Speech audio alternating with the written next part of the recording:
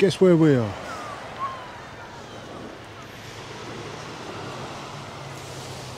Eastbourne Pier. On then, why are we here? Well, it's about the story of the New Brunswick. Um, well, more really to do with a lifeboat going to the aid of the New Brunswick in 1883. So it's the start of the story. Um, just an introductory. Uh, November the 25th, 1883, found the New Brunswick in trouble during the night in heavy weather. Topmast blown away and sails were torn to rags. Dawn found them off Beachy Head in a south-southwest gale driving them towards the rocks. The exhausted crew dropped their best two anchors, but these were found to be dragging and signalled for help. Right. So we're going to. Uh, well, they couldn't launch a lifeboat at Newhaven, could they? So they had to launch this Eastbourne one, but it was too rough, It was. so they had to drag it all the way over to Birling Gap. The lifeboat station is uh, Just before the Martello yeah, where the Tower. Martello Tower. Yeah, it's just down there where that where that tower is. Uh, and then we've got to do a hell of a walk. About five and a half miles approximately. They did it in two hours. Yeah, dragging the lifeboat. We'll see how we get on, and we'll tell you about it on the way. Let's go. The following is taken from the Eastbourne Gazette, published on November the 28th, 1883. The New Brunswick was timber laden and was on her voyage from Quebec to Sunderland. The voyage from the American shores presented no particular features, but just at the entrance of the English Channel, the unfortunate vessel was caught in a terrific storm. For some days she was driven helplessly before the wind, her topmast carried away and her sails torn to rags. The crew were utterly exhausted by their struggles during the gale, and to add to their misfortunes, when Sunday morning broke, they found themselves being helplessly driven on a rocky coast. As a last resource, they threw overboard their two best anchors. For a time they held, but soon afterwards they were felt to drag. They had hoisted signals of distress, but they could not detect any answer. At length, to their joy, several people were seen gathered on the shore, but they had no means of communication. The poor seamen could see as the tide fell that there were huge ridges of rock between themselves and the shore. Hour after hour passed, the storm increased in fury. At length, when hope was almost gone, they noticed that efforts were being made to get a boat down the cliff onto the beach. Even when the boat started, the poor fellows feared that she could never reach their vessel. It seemed almost impossible that an open boat could live in such a storm. In this idea they were correct, had not the William and Mary been constructed with the most improved appliances and manned by a daring hardy crew, it would have been impossible they could ever have been saved. It is only fair to the Newhaven lifeboat crew to state that when they received the telegram from Eastbourne, they promptly manned their boat, but in the face of the terrific gale, they were unable to leave the harbour. The steam tug on which they generally relied to tow them out of the harbour was quite unprepared and it would have taken some time to get her steamer. Therefore, the attempt was given up as hopeless. After the crew had left the vessel, she remained moored at her anchors, and after the gale had subsided, the Newhaven steam tug went out to her and managed to tow her into Newhaven harbour, where she now lies in safety. In all probability, she will be claimed as a derelict by the owners of the steamboat. The following description is again from the Gazette and gives a full story of the day's events and why, after all that effort, the entire lifeboat crew were dismissed. The piece was entitled The Eastbourne Lifeboat to the Rescue. The gallant rescue of the crew by the Eastbourne lifeboat and the difficulty in conveying the lifeboat to the wreck. Just at the moment when the Mayor and Corporation were leaving the Vestry Hall on Sunday morning last, a messenger arrived announcing a wreck off Beachy Head. Councillor John Bennett, sub-agent for Lloyd's, immediately left the procession which had just been formed and after a hurried consultation with Alderman Rudd, Lloyd's agent, hastened to the telegraph office and wired the information to Newhaven. It was thought probable that they would be able to arrive at the wreck before the Eastbourne boat could get, get there, as there was a gale blowing from the south southwest direct into the teeth of the Eastbourne boat. It was a question whether it was advisable to dispatch the Eastbourne boat at all. Mr. Emery, local secretary to the Lifeboat Institution, and Charles Hide, coxswain of the boat, were consulted and it was determined to take the boat over land. It was very fortunate this decision was arrived at because, as it will be subsequently seen, the Newhaven boat never left the harbour and therefore the whole credit of the affair devolves upon the Eastbourne crew. While the consultation was going on, the Eastbourne crew mustered at their post and received the announcement with hearty cheers and at once set to work to drag the boat out of the house and had actually pulled it by manual labour to the end of South Street before the horses could be attached. In the first instance, six horses were supplied by Mr. Newman of the Anchor Hotel, but these were supplemented by four more supplied from other sources. The tug up the new road to Beachy Head was a terrible struggle, and it required the full power of the ten horses, with a crew and a host of volunteers of all classes of society who worked with a will to drag and push the heavy boat up the steep ascent, rendered ten times more difficult by the drenching rain which fell all the time, and the gale which blew dead in their teeth. On, however, they went, and in two hours reached Birling Gap, down which it was necessary to take the boat before it could reach the shore. At that time the vessel could be dimly seen amid the drifting scud, some three quarters of a mile from the shore, with the sea at times breaking completely over it. The crew, lashed to their rigging, drenched to the skin with every passing wave, were observed waving signals of distress.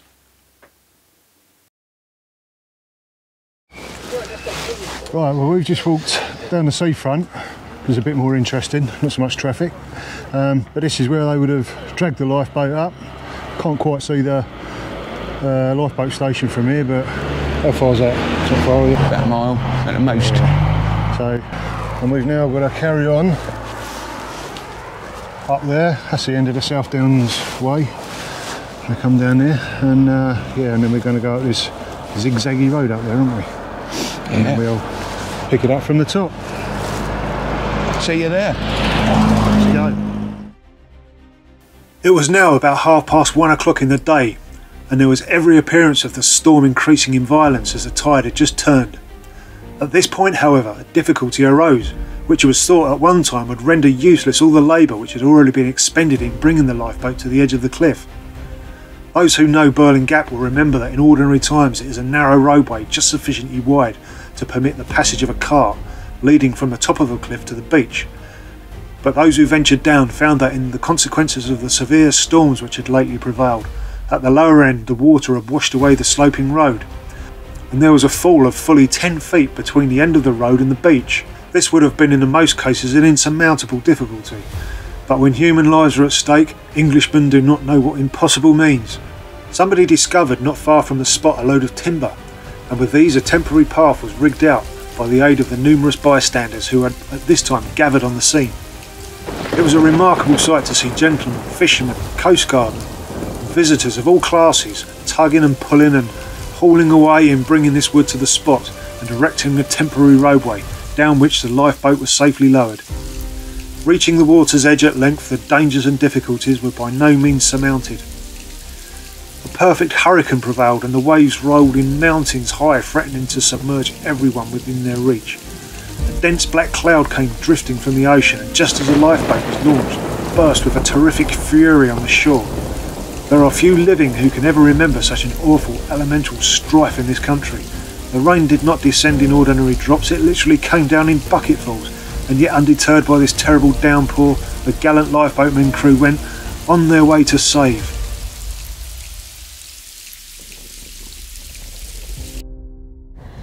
Oh, right, so we now we've got to the top of the hill. So where do you reckon they would have gone then? Well, they would probably have come up the, the little wiggly road up here and then probably come up on the top and then most likely take a direct route down over to Birling Gap over the other side of the farm there.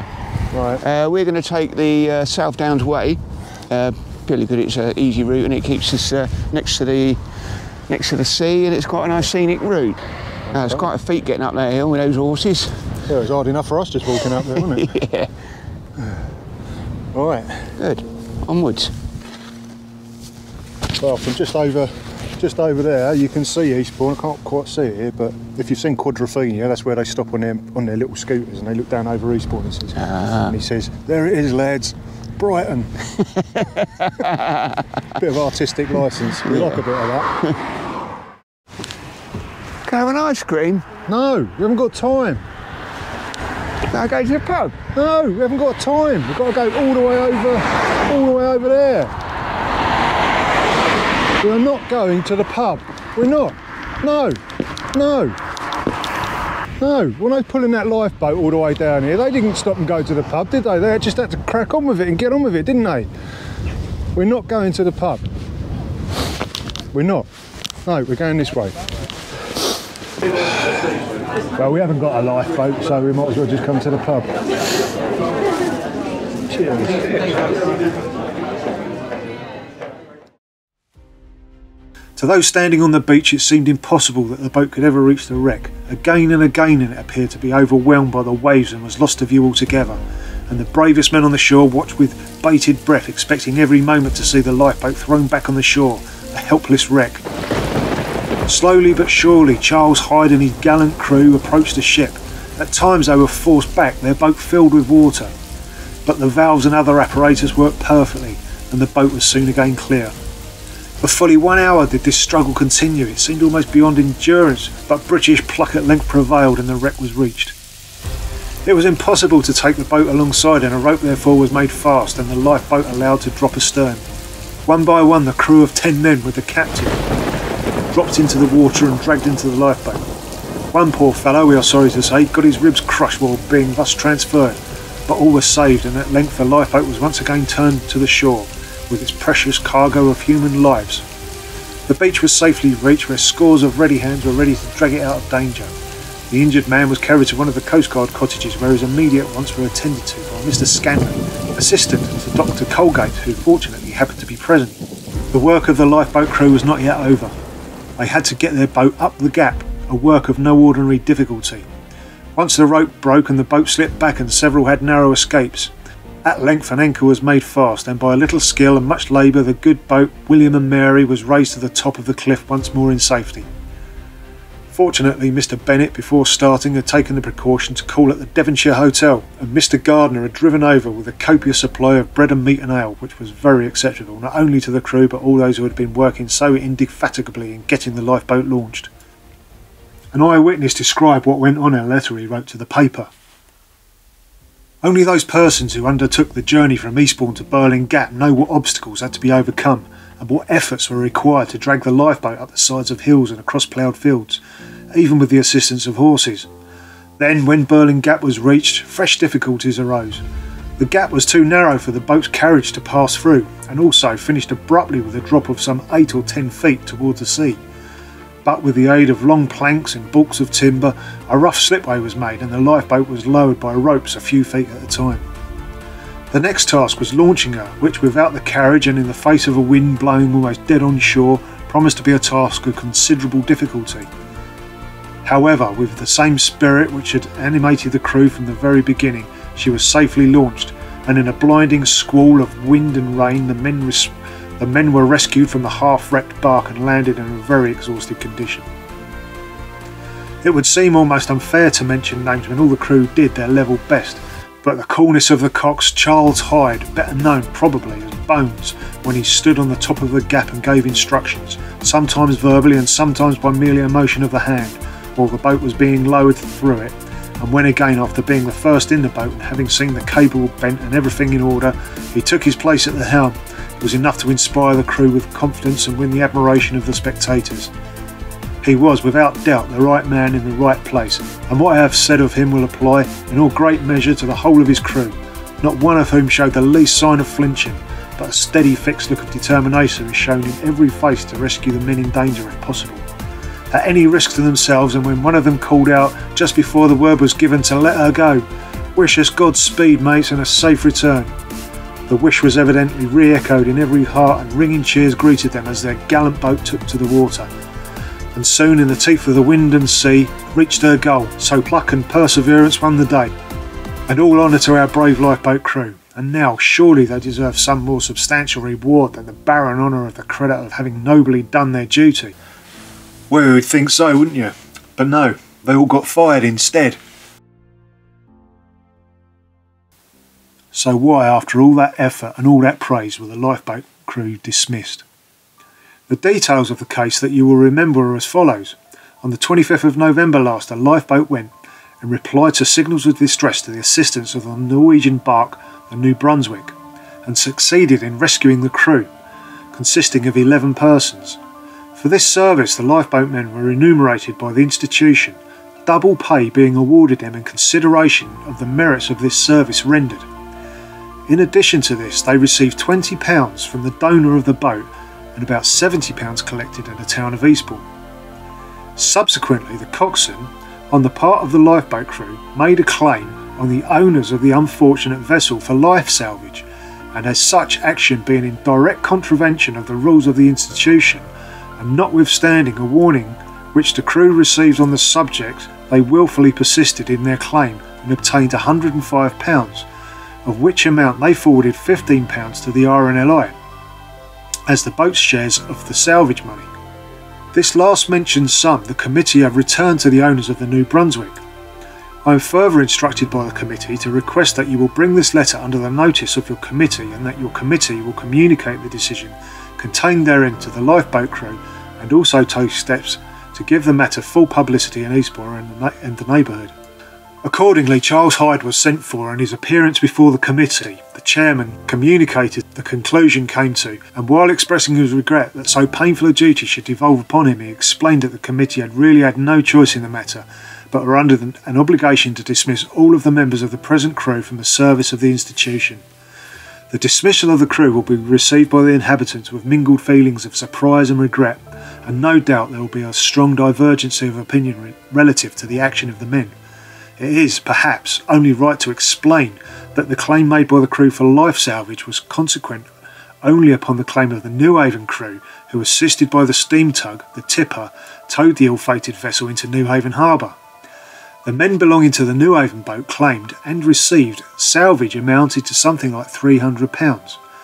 Not unnaturally, the Eastbourne men, who, who had, as it were, borne the heat and burden of the day, had heroically encountered a tempestuous sea at the risk of their own lives and succeeded in bringing safely to shore the 11 members of the crew whose lives had been in the utmost jeopardy, were annoyed to think that their neighbours who failed to do anything on the day of the wreck should receive the largest share of pecuniary reward, and as the Newhaven crew refused to waive their claim, the Eastbourne men persisted in their demand for compensation for life salvage. They were warned by the RNLI that their action would be a direct violation of one of the leading principles governing the operations of the institution, and that if it persevered, it would unavoidably necessitate their severance from the institution. The situation is one of considerable importance, since it is evident there will be the greatest possible difficulty in replacing the crew. We understand that a movement is on foot for securing another lifeboat to be manned by the dismissed men, and that several contributions have already been promised with a view to that end. On Wednesday evening, Hide and his mates were driven through some of the streets with the flag taken from the back of the New Brunswick, borne aloft. A band accompanied the party. I leave the last word to Charlie Hide. No one regrets more than your humble servant that the statement should go forth that we are ungrateful to public sympathy and support. We beg most humbly to tender to those who so kindly responded to the appeal for our joint benefit our most grateful thanks for so handsome a tribute to our humble endeavours to save life. Thank God for His bounteous mercy, we are the means of saving 11 lives from the grasp of the merciless ocean in the face of every obstacle. Such we are ready to do again and again whenever necessity arises. Now for explanation. Why should the Newhaven crew that in no way assisted to rescue life receive the sum of £300 when called upon to save life? The same was left to Eastbourne, who happily succeeded.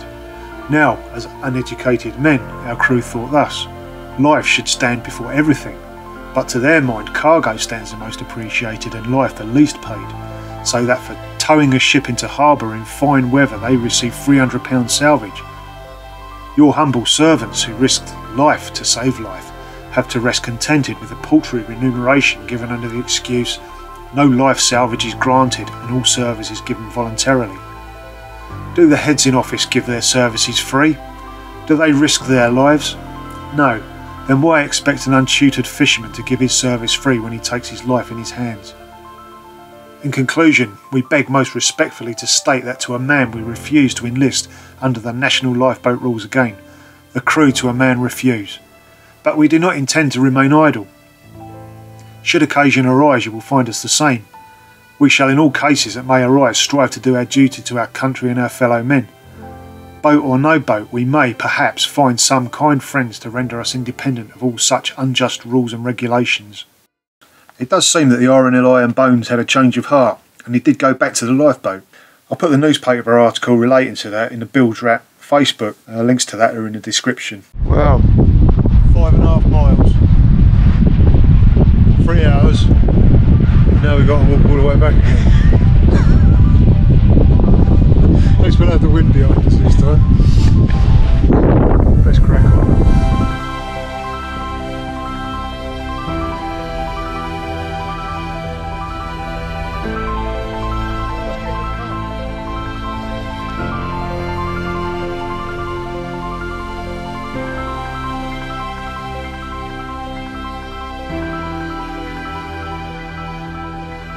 George Mears, a little known artist from Brighton, he used to travel to Newhaven to paint the various ships coming and going. He did actually capture the steam tug Tipper towing the New Brunswick into Newhaven Harbour. Well, that's it for the New Brunswick. Thanks for watching. Uh, hopefully, the next video will be about putting the engine back into the boat so we can uh, soon be getting on with doing some more underwater adventuring.